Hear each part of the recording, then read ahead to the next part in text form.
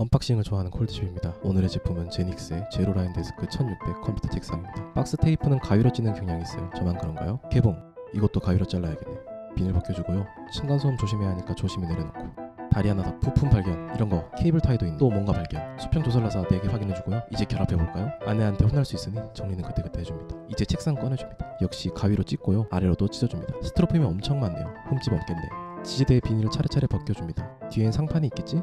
정답 설명서 들어있다. 상판은 조심히 꺼내야 층간소음을 또 조심해야 합니다.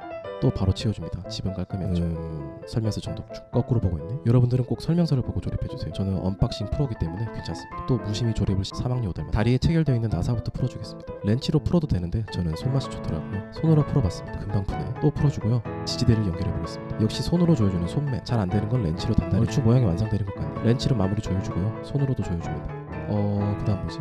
상판의 나사도 분리해야 되네요 이제 상판과 다리를 결합해줍니다. 수평 조절 나사 손으로 조여주고요. 지지대 나사도 조여줍니다. 안 돌아갈 때까지 조여주고 렌치로 마무리. 따라라라 안 이거 요즘 MZ들은 모른다던데. 와 진짜 큰 책상 짠. 심플하게 구성해봤어요. 모니터와 웹캠 키보드 마우스 본체. 진짜 심플한 구성인데도 뒤에 전선이 지저분하네 하지만 제로라인 데스크는 지대에 전선을 정리할 수 있게 디자인되어 있어요. 보이시죠? 다리에도 이렇게 전선을 정리할 수 있게 디자인되어 있어요. 구성품인 케이블 타이도 있는데 전선이 많으시면 이것도 사용하세요. 전 별로 없어서. 바로 전선을 정리해봅시다. 음 쉬운데요? 깔끔해지고 있습니다. 이런 부분은 케이블 타이로 조여주면 더 깔끔할 것 같네요. 전선을 정리해주면 지지대는 이렇습니다.